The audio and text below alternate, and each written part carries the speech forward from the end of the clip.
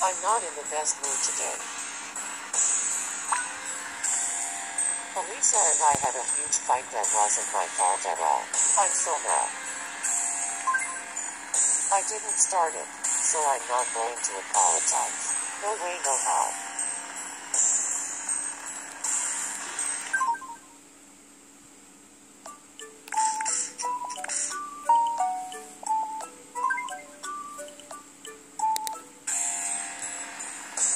Not in the best mood today.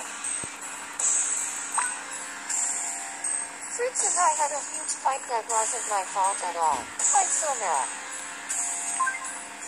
I didn't start it, so I'm not going to apologize. No way, no how.